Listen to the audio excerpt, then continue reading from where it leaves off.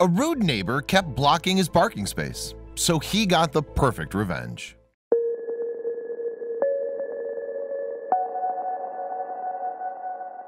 Hateful neighbors, the problem of most people hoping to live peacefully in a calm house. And the reality imposes the fact of handling the horrible neighbors and their noise has become a struggle.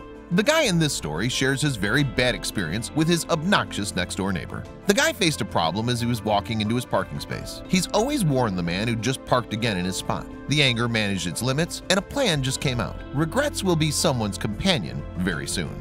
Reddit was done using anger and allowing it to control his actions. He'd warned the man lots of times by leaving warning papers in his vehicle, but the vehicle's owners insist on not minding any of Reddit's attempts. So these attempts got their time to change into another smart plan. So as the revenge started, the Redditor decided to use his mechanical skill. He once was a car lover then, after the teenage years, he got the passion to lift up the Kyle's car and discover how it all worked under the amazing invention. So basically, he only needed a good excuse to wipe the dust on his beloved tools. The Redditor had a well trainings and had the vehicle maintenance certificate, which he earned by his excellence in his apprenticeship. The best skills were owned and all this will be used in his plan to get revenge from the car's owner.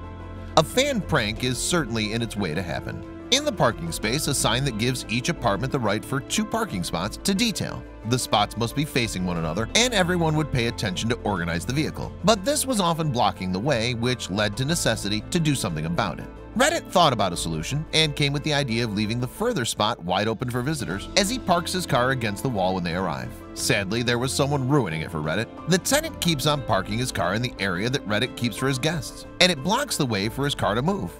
The apartment building was big, and finding out about the parked car's owner was hard, but Reddit finally knew the person.